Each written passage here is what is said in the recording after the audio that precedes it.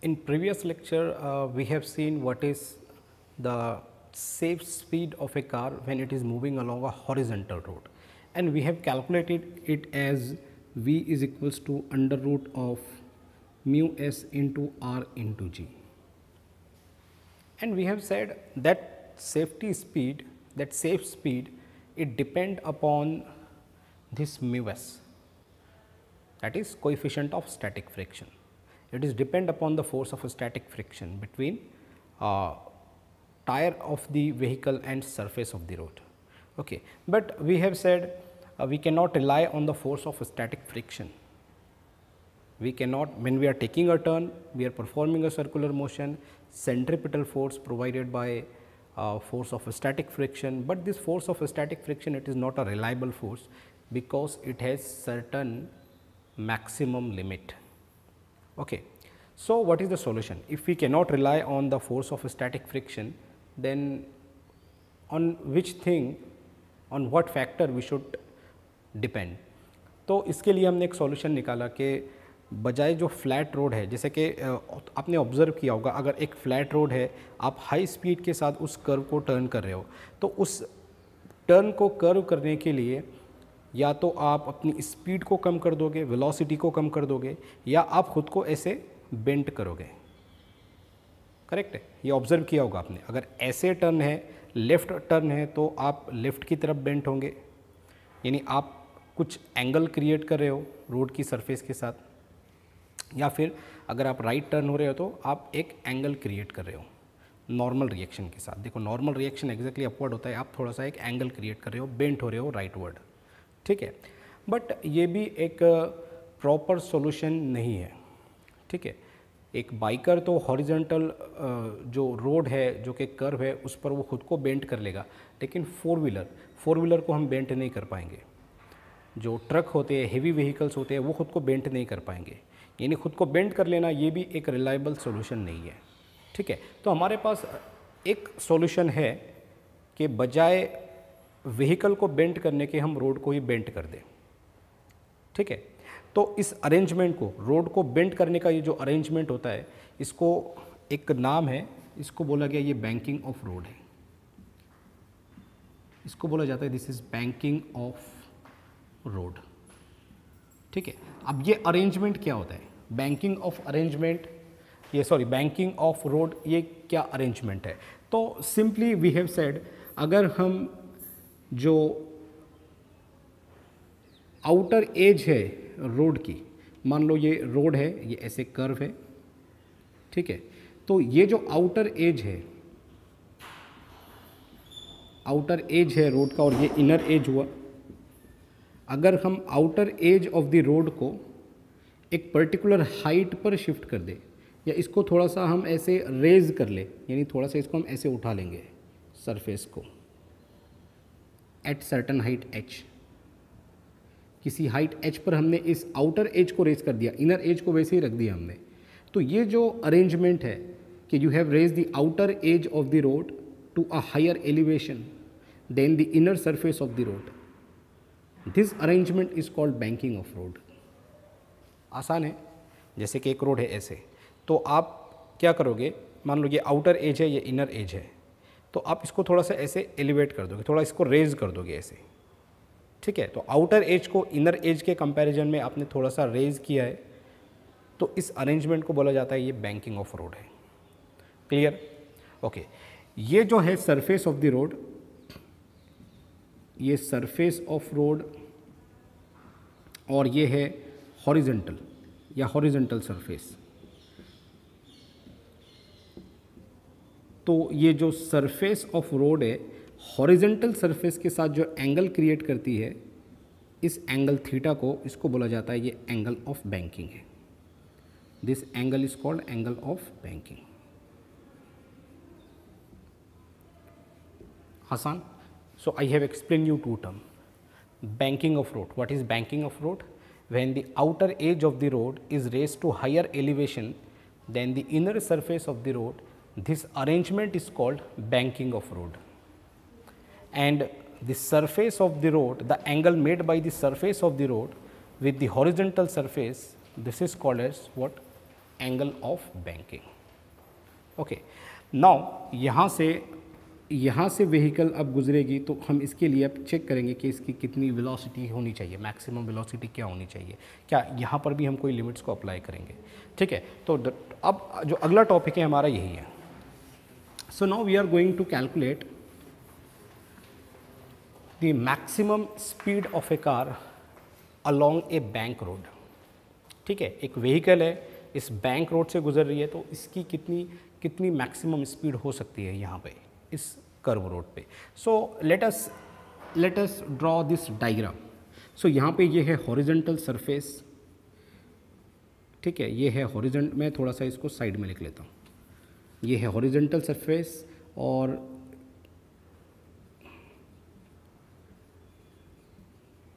Surface of the road ये है this is surface of the road ये हुआ angle of banking theta because surface of the road horizontal के साथ जो एंगल क्रिएट करती है that is angle of banking और ये अरेंजमेंट है हमने रोड को बैंक करके रखा है और एक व्हीकल यहाँ से पास हो रही है, ठीक है? तो लेट से कि इस, ये जो व्हीकल है, इसका मास मैं मान लेता हूँ कि m is the mass of the vehicle v इस व्हीकल की वेलोसिटी है, ठीक है? और r जो ये कर्व है, ये जो कर्व रोड है, इसका रेडियस है, इस कर्व रोड का रेडियस है आर ठीक है?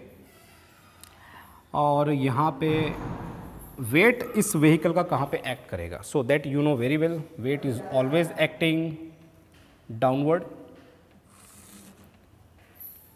weight act in the downward direction weight M G in the downward direction what about the normal reaction so normal reaction it is always perpendicular to the surface यहाँ पे ये act रहा है normal reaction ये normal reaction N so when this car is taking a turn along a bank road these are the forces which is acting on the car यहाँ पे मैं इसको नोट डाउन कर लेता हूँ, ठीक है? ये M G M G act हो रहा है downward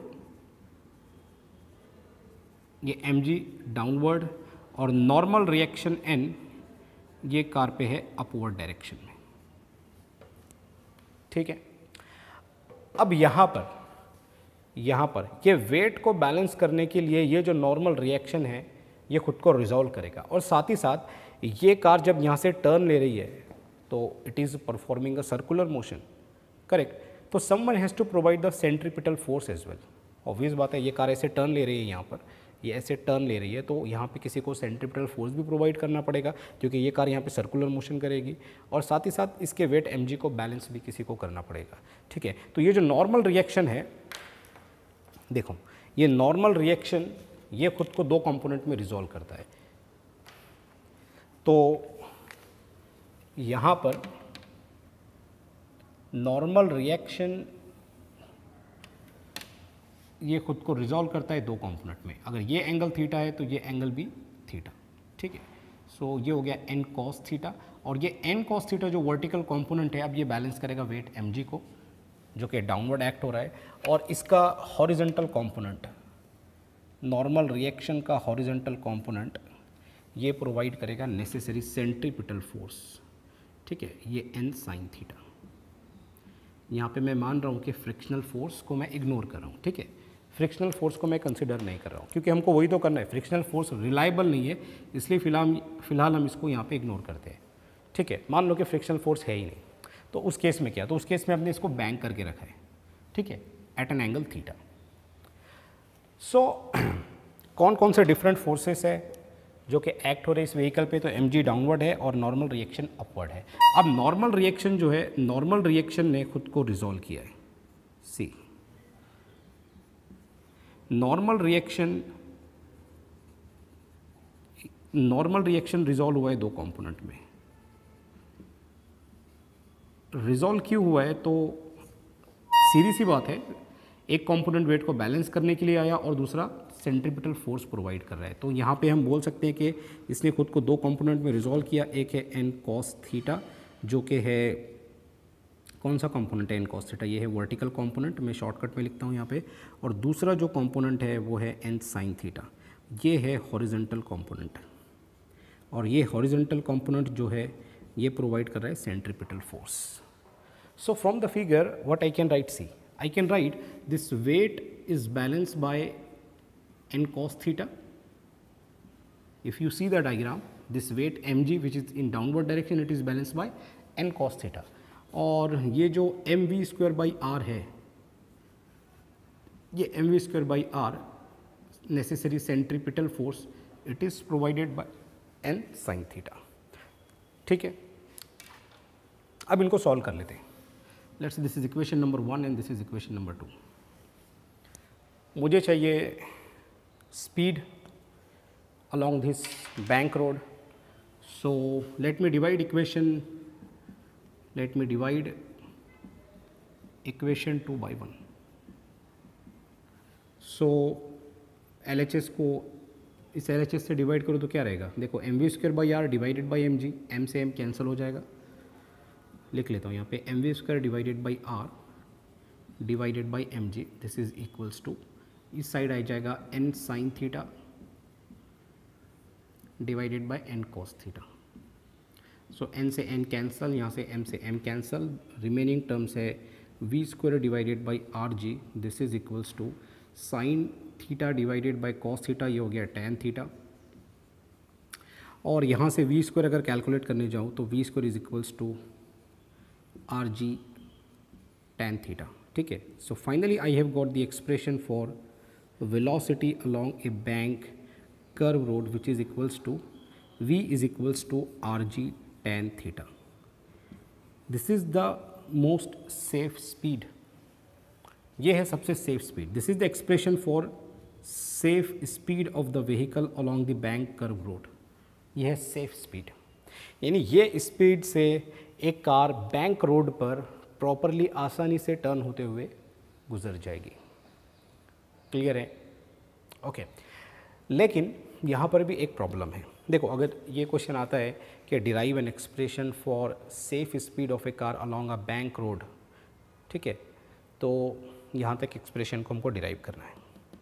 V is equals to R G tan theta this is the most safe speed of the car और अगर पूछा है कि डिराइव एन एक्सप्रेशन फॉर यहाँ पे मैं लिख देता हूँ। ये स्पीड ऑफ़ द कार के लिए है। अगर एंगल ऑफ़ बैंकिंग के लिए पूछता है तो फिर इसको यहाँ से चेंज कर देंगे। ठीक है? Expression for angle of banking अगर पूछता है तो इसको चेंज कर देंगे यहाँ से। Expression for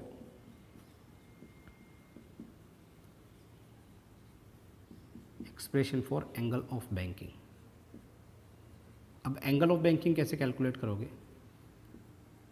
तो आसान है। Look at this equation let से ये इक्वेशन को मैं इक्वेशन थ्री मार्क करता हूँ। तो इक्वेशन थ्री से मैं एंगल ऑफ़ बैंकिंग कैलकुलेट कर सकता हूँ। Since we know that tan theta is equals to V square divided by R G तो यहाँ से एंगल ऑफ़ बैंकिंग थीटा कितना हो जाएगा? देखो theta will be tan inverse of V square divided by R G and this is the expression this is the expression for angle of banking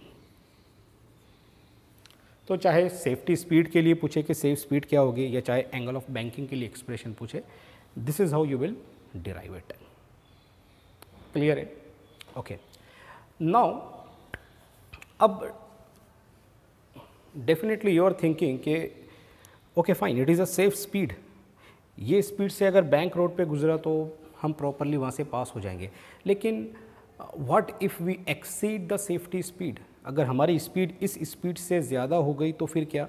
या अगर हमारी स्पीड इस वेलोसिटी वी से अगर कम हो जाती है तो उस केस में क्या होगा?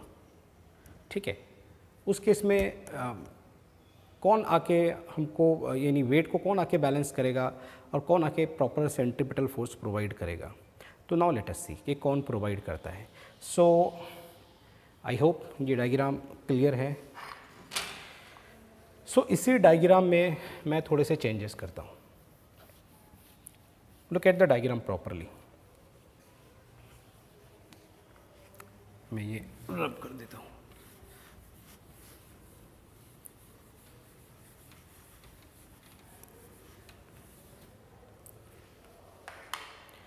So, now let us understand कि what is most safe speed most safe speed कितनी है? सो हमने बोला मोस्ट सेफ़ स्पीड है v is equals to under root of R G tan theta जहाँ पे G acceleration due to gravity है theta angle of banking है R इस कर्व रोड का रेडियस है ठीक है? यानी सेंटर तक जो सेंटर ऑफ़ द रोड से उस सेंटर का रेडियस है, ठीक है? नाउ लेट अस अज्यूम हाँ और इस केस में एम जी डाउनवर्ड होता है नॉर्मल रिएक्शन सरफेस के परपेंडिकुलर होता है। मान लो कि जो स्पीड है, वो स्पीड हमारी एग्जैक्टली exactly इतनी नहीं है। वैसे भी प्रैक्टिकली होता ये है कि हम एग्जैक्टली exactly इतनी स्पीड से ट्रैवल नहीं कर पाते इस बैंक रोड पर। कभी हमारी स्पीड ज़्यादा होती है, कभी कम होती है। एग्जैक्टली मेंटेन करना थोड़ा सा मुश्किल होता है। अगर हमको ज़्यादा फास्ट जाना है तो हमारी स्पीड एक्सीड हो जाएगी। अगर हमको स्लो जाना है तो हमारी स्पीड थोड़ी सी कम हो जाएगी। तो मान मान लेते हैं कि हम एक ऐसी स्पीड से ट्रैवल कर रहे हैं जो कि इस सेफ़ स्पीड से कम है। ठीक है? अज्यूम कर लेते हैं कि हमारी फ़िलहाल जो स्पीड है, मान लो, मेरे अभी जिस स्पीड से मैं ट्रैवल कर रहा हूँ वो वी वन है और ये जो वी वन वेलोसिटी है, ये लेस है under root R G tan theta से। यानी मैं सेफ़ स्पीड से कम स्पीड पर ट्रैवल कर रहा हूँ। सेफ़ स्पीड वी है और मैं वी वन से ट्रैवल कर रहा हूँ और ये कम है वी से। तो इस केस में क्या होगा देखो? इस केस में क्या होगा? जैसे ही मैं अपनी सेफ़ स्पीड को छोड़ूँगा तो ये जो व्हीकल है, ये जो व्हीकल है, ये स्किड होगी इस डायरेक्शन में। ऑब्वियस बात है, ये इधर स्किड होगी। देखो कैसे स्किड होगी? क्योंकि जो सेंट्रीपिटल फोर्स है, या सेंट्रीफ्यूगल फोर्स है, यहाँ पे किसने बैलेंस करके रखा था इसको? N sine theta centripetal force इधर एक्ट कर रहा था और सेंट्रीफ्यूगल फोर्स इसके अपोजिट डायरेक्शन में एक्ट कर रहा था। दोनों बैलेंस थे, ठीक है? ये दोनों बैलेंस थे। लेकिन अब ये कार इधर स्किड हो रही है, क्योंकि वेलोसिटी हमारी कम हो गई है। तो वेलोसिटी के कम होने से हुआ ये है कि जैसे हमारी वेलोसिटी कम हुई है यहाँ पर वेलोसिटी कम हुई है तो वेलोसिटी के कम होने से जो रेडियस है ट्रैक का वो भी कम हो गया। करेक्ट और अगर रेडियस ट्रैक का ये डिक्रीज़ हुआ है तो फिर overall M V square by R ये जो फोर्स है, ये कम हो गया। किससे कम हो गया? एन साइन थीटा से। देखो ना वेलोसिटी की वैल्यू यहाँ पे डिक्रीज हुई है। डिक्रीज हुई तो ओवरऑल फोर्स डिक्रीज हुआ है। ओवरऑल फोर्स डिक्रीज हुआ, ये इधर स्कीड हो रहा है रेडियस ऑफ़ द ये जो रेडियस है कर्वेचर ये कम हो रहा है रेडियस डिक्रीज हो रहा है। चलो रेडियस की बात नहीं करते, लेकिन अगर वेलोसिटी डिक्रीज हो रही है तो ओवरऑल फोर्स जो है वो कम हो गया। कौन सा फोर्स ये इधर साइड में जो फोर्स लग रहा था, जो कि सेंट्रीफ्यूगल फोर्स था, ये जो सेंट्रीफ्यूगल फोर्स था, अब ये डिक्रीज हो गया। वही तो लिखा है मैंने, ये जो सेंट्रीफ्यूगल फोर्स है it is less than N sine theta. तो N sine N sine theta इसको इधर पकड़ के खींच रहा है। करेक्ट अब इस केस में कौन बैलेंस करेगा आकर? तो ऑब्वियस बात है, यहाँ पे फ्रिक्शन भी तो है। टायर और सरफेस के बीच का फ्रिक्शन भी तो है। ये टायर और सरफेस के बीच का जो फ्रिक्शन है, अब यहाँ पे ये फोर्स ऑफ़ स्टैटिक फ्रिक्शन ये एक्टिवेट होगा। और ये एक्ट करेगा अलोंग द सरफेस ये एक्टिवेट होगा और ये एक्ट करेगा अलोंग द सरफेस यहाँ पर। ऑब्वियस बात है फोर्स ऑफ़ स्टैटिक फ्रिक्शन ये अलोंग द सरफेस ही लगता है। करेक्ट अब ये कार डाउनवर्ड स्किड हो रही है और एक फ्रिक्शनल फोर्स इस कार को अपवर्ड खींच रहा है या होल्ड करके रख रहा है। ठीक है, अब ये अलोंग दी सरफेस है तो ये जो फोर्स है, ये भी खुद को रिजॉल्व करेगा दो कंपोनेंट में। देखो, एक कंपोनेंट तो रहेगा along the along the surface यहाँ पर। देखो, एक कंपोनेंट रहेगा अलोंग दी सरफेस ये जो फोर्स ऑफ़ स्टैटिक फ्रिक्शन है, ये भी खुद को रिजॉल्व करेगा दो कंपोनेंट में। ठीक है? एक हो गया ये वाला कंपोनेंट देखो, अगर ये एंगल थीटा है तो ये एंगल भी थीटा होगा। उस हिसाब से ये वाला कंपोनेंट हो गया एफ़ कॉस थीटा और ये F cos theta exactly N sine theta के अपोजिट डायरेक्शन में है। और एक इसका वर्टिकल कॉम्पोनेंट दोनों कंपोनेंट एफ़ कॉस थीटा और एफ़ साइन थीटा एक दूसरे को परपेंडिकुलर रहेगा। ठीक है? और ये आ गया एक कंपोनेंट एफ़ साइन थीटा जो कि वर्टिकली अपवर्ड है एन कॉस थीटा की डायरेक्शन में है। वर्टिकली अपवर्ड और एन साइन थीटा की डायरेक्शन में। मैंने टायर के पास ये बता दिया। ठीक है? क्लियर है ये बात? फिर से मैं समझा देता हूँ क्या बोल रहा हूँ मैं। हमने बोला कि हमारे पास सेफ़ स्पीड है V is equals to root R G tan theta लेकिन अगर हम उससे कम स्पीड पे ट्रैवल कर रहे हैं तो ये कार इधर स्कीड होगी। इसका मतलब क्या हुआ है? सेंट्रीफ्यूगल फोर्स जो कि आउटवर्ड एक्ट कर रहा था, वो कम हो गया। किससे? एन साइन थीटा से। तो फिर यहाँ पे फोर्स ऑफ़ स्टैटिक फ्रिक्शन ये एक्टिवेट हुआ। और अब ये क्या करेगा? इसका ये जो हॉरिजेंटल कॉम्पोनेंट है एफ़ कॉस थीटा ये एन साइन थीटा के अपोजिट डायरेक्शन में है। ये सपोर्ट करेगा सेंट्रीफ्यूगल फोर्स को। और ये जो एफ़ साइन थीटा है ये एन थीटा के साथ ऐड हो जाएगा और बैलेंस करेगा वेट एम को। आई होप ये तुमको क्लियर है। नाउ देखो। सो so, अगर ये क्लियर है तो फिर हम कुछ इक्वेशंस लिखते हैं। ठीक है? कुछ इक्वेशन लिखते हैं यहाँ पर। So, from geometry of the figure, let me write from geometry of figure. देखो अब वेट को कौन बैलेंस कर रहा है? देखो weight M G is balance by weight M G is balance by M G downward direction में है। एम जी डाउनवर्ड डायरेक्शन में। बैलेंस कौन कर रहा है? देखो इसको N cos theta N cos theta और साथ ही साथ एक और अपवर्ड कंपोनेंट है, इस फोर्स ऑफ़ स्टैटिक फ्रिक्शन का that is F sine theta ये एन कोस थीटा के साथ एडअप हो गया। क्यों? क्योंकि वेलोसिटी वी वन हो गई थी अभी फ़िलहाल। ये वेलोसिटी जो थी, ये वी वन हो गई थी। और ये स्किड हो रहा था। तो एफ़ कॉस थीटा ने आके सपोर्ट किया और एम को बैलेंस कर दिया। Let's this is equation number one और सेंट्रीपिटल फोर्स कौन प्रोवाइड कर रहा था?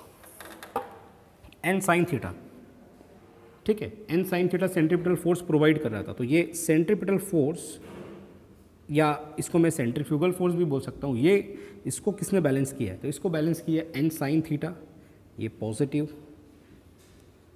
एन साइन थीटा और एग्जैक्टली इसके अपोजिट डायरेक्शन में कौन है? एफ़ कॉस थीटा सॉरी ये ये एफ़ साइन थीटा है। ये है एफ़ साइन थीटा और एन साइन थीटा के एग्जैक्टली अपोजिट डायरेक्शन में कौन है? एफ़ कॉस थीटा तो ये लिखता हूँ मैं माइनस साइन क्योंकि N sine theta F cos theta एक दूसरे के अपोजिट डायरेक्शन में क्योंकि F cos theta let say this is equation number two ठीक है? स्किड हो रही थी इसलिए फोर्स ऑफ़ स्टैटिक फ्रिक्शन आके एक्टिव हो गया और ख़ुद को दो कंपोनेंट में इसने रिजॉल्व कर लिया है एन कॉस थीटा और एन साइन थीटा को हैंडल करने के लिए। ठीक है? सो सिंपल हो गया। अभी equation two divided by equation one फिर से मैं कर देता हूँ। So equation number two divided by equation number one so so, क्या होगा? सॉल्व करते हैं इसको। सो so, फिर से ये M V square divided by R divided by M G M से एम कैंसिल होगा और ये साइड बचेगा V square divided by R G V square divided by R G this is equals to और equation two क्या है? N sine theta N sine theta minus F cos theta divided by N cos theta plus और ये sine plus F sine theta. ठीक है? और इसको v1 कर देता हूँ, क्योंकि फ़िलहाल हमारी वेलोसिटी कार की जो है वो कितनी है v1 है। और ये क्या है? हम बोले कि मिनिमम स्पीड है। तो अगर मान लेते हैं कि v1 अगर मिनिमम है, अगर हम अपनी मिनिमम स्पीड पे ट्रैवल कर रहे हैं तो उस केस में फोर्स ऑफ़ स्टैटिक फ्रिक्शन क्या होगा? मैक्सिमम लिमिटिंग फोर्स है। और अगर force of static friction maximum है तो इसकी वैल्यू हम लिख सकते हैं mu S into N obvious बात है ना मिनिमम है तो ये गाड़ी नीचे की तरफ़ स्किड होगी। स्किड होगी तो फोर्स ऑफ़ स्टैटिक फ्रिक्शन उसको ऊपर पकड़ के खींचेगा। और जितनी वेलोसिटी मिनिमम होगी, उतना ये ज़्यादा स्किड होगी और उतना फोर्स ऑफ़ फ्रिक्शन इंक्रीज होगा मैक्सिमम होगा। ठीक है? तो फ़िलहाल force of static friction V के केस में ये एफ़ मैक्स है। और एफ़ मैक्स की value mu S into N हम लिख सकते हैं। तो फ़िलहाल मैं ये एफ़ को, जो कि फ़िलहाल मैक्सिमम है, इसको मैं रिप्लेस करता हूँ म्यू एस इंटू एन से। ठीक है? तो वी वन ये मिनिमम है तो इसको मैं लिख सकता हूँ कि ये मैक्सिमम है। ये फोर्स क्या है? ये मैक्सिमम है। क्लियर ओके सो रिप्लेस कर देते हैं वैल्यूज़ फ़िलहाल मैं इसको हटा देता हूँ, ठीक है? क्योंकि ये कॉम्पोनेंट है। ये कॉम्पोनेंट है। ठीक है? सो ये हो जाएगा V one square divided by R G this is equals to F की वैल्यू मैं रखने वाला हूँ म्यू एस इंटू एन ठीक है? और साथ ही साथ म्यू एस इंटू एन से एन कॉमन भी लेता हूँ। चलो एक स्टेप बढ़ा देता हूँ यहाँ पे। ये N sine theta minus mu S into N into cos theta याद है ना? म्यू एस इंटू एन कब रख सकते हैं हम? जब फोर्स ऑफ़ स्टैटिक फ्रिक्शन अपनी मैक्सिमम वैल्यू पर है, तभी रख सकते हैं इसको। डिवाइडेड बाय ये हो जाएगा N cos theta plus mu S into N into sine theta ठीक है? अब यहाँ से एन और एन कॉमन लेंगे और यहाँ से एन और एन कॉमन लेंगे और वो दोनों कैंसिल हो जाएगा। ठीक है? वो दोनों कैंसिल हो जाएगा। और उसके पास, उसके बाद जो बचा है, वो ये स्टेप बची है। V square divided by R G this is equals to हमारे पास है sine theta minus mu S cos theta divided by cos theta plus mu S into sine theta. ठीक है mu suffix X coefficient of static friction है ये। ठीक। Not let us calculate V one जो कि हमारी मिनिमम स्पीड है। और साथ ही साथ ये जो न्यूमरेटर डिनोमिनेटर को मैं कॉस थीटा से डिवाइड करता हूँ। ठीक है।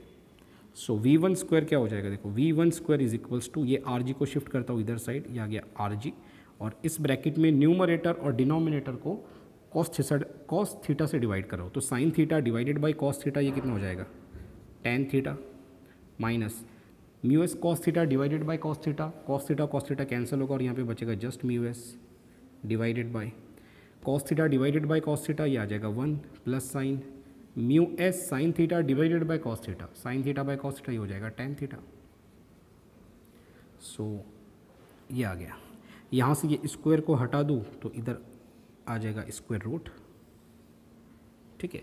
और ये जो एक्सप्रेशन कैलकुलेट किया है तुमने ये है एक्सप्रेशन फॉर मिनिमम स्पीड ये है expression for minimum speed minimum speed of car along banked curve road ठीक है, ये बैंक रोड है बैंक रोड तो ये है लोअर स्पीड ये है lower limit of the velocity इतनी मिनिमम स्पीड के साथ हम गुजर सकते हैं इस कार से. ठीक है? अब अगर ये टेन थीटा की वैल्यू देखो इसको गौर से, इस एक्सप्रेशन को देखो. अगर ये टेन थीटा की वैल्यू अगर ये इक्वल है म्यू एस के, अगर ये वैल्यू म्यू एस के बराबर ही है तो उस केस में ये म्यू एस की बजाय मैं टेन थीटा रख सकता हूँ। तो tan theta minus tan theta zero zero by anything is zero zero into anything is zero यानी वी वन कितना हो जाएगा उस केस में? वी वन हो जाएगा ज़ीरो ये हो जाएगा ज़ीरो ऑलमोस्ट ज़ीरो और ये जो कंडीशन है tan theta is equals to mu S इस केस में वेलोसिटी ज़ीरो हो जाएगी। ये ट्रू है फॉर रफ रोड जो रफ रोड होते हैं, उसके लिए ये ट्रू है। और साथ ही साथ थीटा की वैल्यू अगर मिनिमम है तो उस केस में थीटा अगर मिनिमम है तो मिनिमम या फिर स्मॉल वैल्यू में बोलो टेंस टू ज़ीरो है तो उस केस में थीटा की वैल्यू या, और टेन थीटा की वैल्यू सेम ही हो जाएगी। देखो ना tan theta will be approximately equals to theta तो उस केस में भी, उस केस में भी ये जो वी वन है, ये ज़ीरो ही आएगा ऑलमोस्ट क्योंकि ये जो कोइफिशिएंट ऑफ़ स्टैटिक फ्रिक्शन है, इसकी मैक्सिमम वैल्यू कितनी होती है? वन होती है। यानी हम यहाँ पे स्पीड को ज़ीरो भी कर सकते हैं। स्पीड को यहाँ पर हम ज़ीरो भी कर सकते हैं, लेकिन इन कंडीशंस में। ठीक है? या फिर हम बोलते हैं कि ये कंडीशंस हम तभी अप्लाई करते हैं जब रोड कैसा हो, ये रफ़ रोड हो। रोड अगर रफ़ है रफ़ रोड के केस में ये ट्रू है कि हम यहाँ पे ब्रेक मार के स्टॉप भी हो सकते हैं। हमारी वेलोसिटी ज़ीरो भी हम कर सकते हैं। Clear lower speed expression for minimum speed of a car along a bank road ये तो हुआ एक केस ये तो हमने केस वन डिस्कस किया यहाँ पे। यहाँ पे मैं लिख लेता हूँ, ये केस वन था। केस वन क्या था कि जब मेरी स्पीड जो है वो सेफ़ स्पीड से कम है। मेरी स्पीड सेफ़ स्पीड से कम है। ये तो तब की बात है। लेकिन what about that situation in which my speed will exceed the safety speed अगर मेरी स्पीड सेफ्टी स्पीड से बढ़ गई तो उस केस में क्या? चलो वो देखते हैं। सो so, मान लो केस टू को डिस्कस करते हैं कि मेरी स्पीड अब सेफ्टी स्पीड से एक्सीड हो गई है।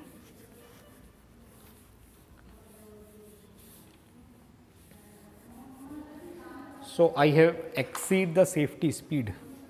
So फ़िलहाल I am traveling with V2 and this V2 is greater than RG tan theta.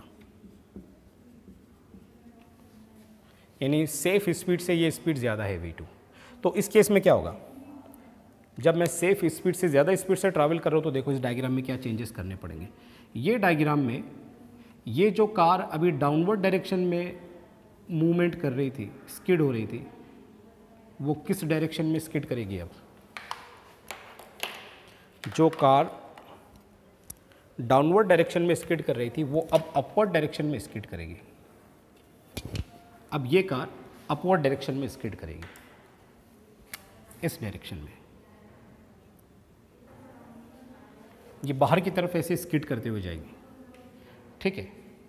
इसका मतलब हुआ क्या है? तो इधर कौन एक्ट कर रहा था? इधर है सेंट्रीफ्यूगल फोर्स तो इसका मतलब what is the value of the centrifugal force M V square divided by R और विलोसिटी वी टू है तो मैं वी टू लिख देता हूँ। यानी ये जो सेंट्रीफ्यूगल फोर्स है M V two square by R अब ये ग्रेटर हो गया है किससे? एन साइन थीटा से।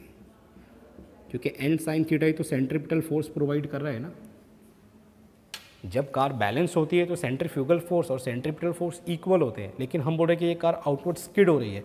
इसका मतलब सेंट्रीफ्यूगल फोर्स अभी बढ़ गया है एन साइन थीटा से, जो कि प्रोवाइड कर रहा था सेंट्रीपिटल फोर्स ऐसा क्यों हुआ है? क्योंकि वी टू इंक्रीज़ हुआ वी टू इंक्रीज़ हुआ तो सी एफ़ एफ़ इंक्रीज़ हो गया। ठीक है? तो अब इस केस में ये जो फोर्स ऑफ़ स्टैटिक फ्रिक्शन है, ये कौन से डायरेक्शन में एक्ट करेगा? सी ये जो फोर्स ऑफ़ स्टैटिक फ्रिक्शन है, ये अब डाउनवर्ड डायरेक्शन में एक्ट करेगा। ये फोर्स ऑफ़ स्टैटिक फ्रिक्शन अब कार बाहर की तरफ़ जा रही है तो ये इसको इधर पकड़ के रखेगा और ये फिर से खुद को रिजॉल्व करेगा। अब ये रिजॉल्व करेगा खुद को दो कंपोनेंट में। देखो, एक ये कंपोनेंट और एक इसका ये वर्टिकल कंपोनेंट सो ये है वर्टिकल कंपोनेंट और ये है इसका हॉरिजेंटल कंपोनेंट ये एंगल थीटा है तो ये एंगल भी थीटा होगा, ठीक है? और ये कंपोनेंट कितना हो जाएगा फिर? ये कंपोनेंट हो जाएगा एफ़ कॉस थीटा और ये जो डाउनवर्ड कंपोनेंट है, ये हो जाएगा F sine theta F cos theta और ये डाउनवर्ड डायरेक्शन में एफ़ साइन थीटा क्लियर है? देखो सेंट्रीफ्यूगल फोर्स ज़्यादा हो रहा था, उसको बैलेंस कर देगा एन साइन थीटा कम पड़ रहा था ना तो ये एफ़ कॉस थीटा आके एन साइन साइन थीटा के साथ जुड़ गया और अब ये दोनों मिलकर सेंट्रीफ्यूगल फोर्स को बैलेंस कर रहे हैं और इस कार को यहाँ पे होल्ड कर रहे हैं। ये रोड पे रहेगी कार। और जो वेट इम्बैलेंस हो रहा था, उसको एफ़ साइन थीटा कॉम्पोनेंट ने आके बैलेंस कर दिया। एफ़ साइन थीटा और ये वेट डाउनवर्ड डायरेक्शन में। यानी एक्चुअल में एन कॉस थीटा के अपोजिट डायरेक्शन में है एफ़ साइन थीटा तो इस तरीके से वेट बैलेंस होगा। क्लियर और ये जो कार है, जो कि बाहर की तरफ़ खिसक रही थी, ये यहीं पर रहेगी अभी। और फ़िलहाल स्पीड मैक्सिमम है। क्लियर तो again from geometry of the figure what we can write see from geometry of figure. So I can write weight mg, look at weight mg. Weight M किसके साथ बैलेंस हुआ है देखो weight M G is balance by N cos theta और ये N cos theta के direction में ही ये एन कॉस थीटा के अपोजिट डायरेक्शन में एफ़ साइन थीटा है तो एन कॉस थीटा से ये माइनस कर देता हूँ मैं एफ़ साइन थीटा देखो एन कॉस थीटा अपवर्ड है, इसके अपोजिट डायरेक्शन में है एफ़ साइन थीटा ठीक है? Let's this is equation number one और ये जो सेंट्रीपिटल फोर्स है M V square divided by R इसको देखो अभी। या इसको सेंट्रीफ्यूगल बोलता हूँ मैं। फ़िलहाल विलोसिटी है वी टू ठीक है? M V two square by R ये बैलेंस हुआ है किससे? तो एन साइन थीटा इधर डायरेक्शन में। ये है एन साइन थीटा और इसी के साथ साथ है ये फोर्स ऑफ़ स्टैटिक फ्रिक्शन इसका कौन सा कंपोनेंट है? Horizontal component F cos theta अब जाके सेंट्रीफ्यूगल फोर्स बैलेंस हो गया है और कार जो है, अब ये रोड पर ही रहने वाली है। ठीक है? अब फिर से मैं इक्वेशन टू को इक्वेशन वन से डिवाइड कर देता हूँ तो क्या आ जाएगा देखो। M G is equals to equation two क्या है? N sine theta plus F cos theta है। यहाँ पे प्लस आ जाएगा और ये माइनस आ जाएगा। एम एम फिर से कैंसिल होंगे। देखो ना एम एम फिर से कैंसिल हो गए V two square divided by R G V two यहाँ पे वी वन है तो यहाँ पे वी टू वी टू कर देते हैं। V two square divided by R G equation two को डिवाइड किया इक्वेशन वन से तो ये इक्वेशन मिलेगी। V two square divided by R G is equals to N sine theta plus F cos theta divided by N cos theta minus F sine theta अब फिर से वही बात है कि अगर वेलोसिटी वी टू मैक्सिमम है तो उस केस में जो फोर्स ऑफ़ स्टैटिक फ्रिक्शन है, ये भी मैक्सिमम हो जाएगा और ये मैक्सिमम होगा तो फिर हम एफ़ मैक्स की जो वैल्यू है वो लिख सकते हैं म्यू एस इंटू एन और फ़िलहाल ये फोर्स मैक्सिमम ही है। क्यों? क्योंकि हम अपनी मैक्सिमम स्पीड पे ट्रैवल करें ये अलग बात है कि ये उसके कंपोनेंट है ठीक है? ये उसके कंपोनेंट है। तो यहाँ से सॉल्व कर लेते हैं इन इक्वेशंस को। सो so, फिर से सॉल्व करने के बाद V two square divided by R G यहाँ पर मैं एफ़ की वैल्यू ये म्यू एस इंटू एन रखता हूँ और साथ ही साथ एन को कॉमन भी लेता हूँ बाहर। तो ये एन बाहर एन साइन थीटा प्लस यहाँ पे क्या बचेगा फिर? यहाँ पे जस्ट बचेगा mu S mu S into cos theta divided by N तो बाहर लिया है अपन ने, ठीक है? और यहाँ से फिर से एक नॉर्मल रिएक्शन ये एन कॉमन और ब्रैकेट में क्या बचेगा? कॉस थीटा और यहाँ पे बचेगा minus mu S into sine theta. देखो म्यू एस इंटू एन की वैल्यू भी रखी एन को कॉमन भी लिया। फिर से ये एन एन कैंसिल होंगे। ठीक है? और V two square is equals to R G को शिफ्ट करता हूँ मैं R H R H S side में। तो आर जी और यहाँ पे है sine theta plus mu S into cos theta divided by cos theta minus mu S into sine theta numerator denominator को डिवाइड कर देता हूँ मैं कॉस थीटा से। तो ये है V two square is equals to R G कितना आ जाएगा? Sine theta divided by cos theta again tan theta minus sine sorry plus sine है। Mu S cos theta divided by cos theta. तो यहाँ पे जस्ट बचेगा mu S divided by cos theta by cos theta one minus mu S sine theta divided by cos theta यहाँ पे रहेगा mu S tan theta.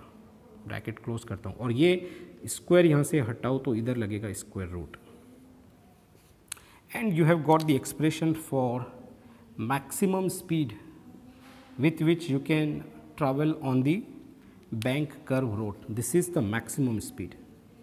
This is the maximum speed of car. Maximum speed of vehicle or car on a bank road. On a bank road. Clear है just plus minus का यहाँ पे फ़र्क है ऑप्टि जो मिनिमम स्पीड थी, वहाँ पे ये, यहाँ पे माइनस आया था और यहाँ पे था प्लस अब कितनी मैक्सिमम एक्चुअल में कितनी मैक्सिमम स्पीड हो सकती है? तो अगर हम यहाँ पे म्यू एस की वैल्यू अगर ये कॉट थीटा के बराबर कर दे सी इसको अगर मैं कॉट थीटा के बराबर कर दूँ म्यू एस को तो क्या होगा? यहाँ पे म्यू एस की बजाय अगर मैं कॉट थीटा रखूँ तो ये हो जाएगा one upon cot theta correct है? और one by cot theta again tan tan theta हो जाएगा। तो ये हो जाएगा one minus tan square theta और अगर थीटा की वैल्यू मैं ग्रेटर देन और equal to forty five degree रखता हूँ तो फिर ये जो वी टू है, ये इन्फिनिटी हो जाएगी, यानी मैक्सिमम हो जाएगी। चाहो तो ये कैलकुलेशन करके देख सकते हो यहाँ पे तुम लोग। ठीक है? थीटा की वैल्यू 45 डिग्री अगर हमने रख दी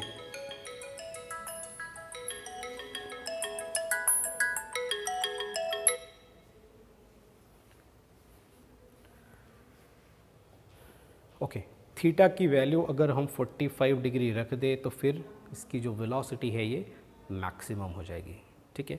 और ये हमारा केस नंबर टू। ये हमारा case number to.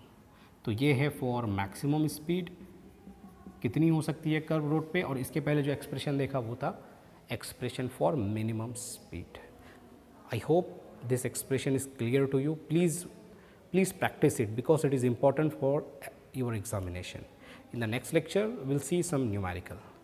Thank you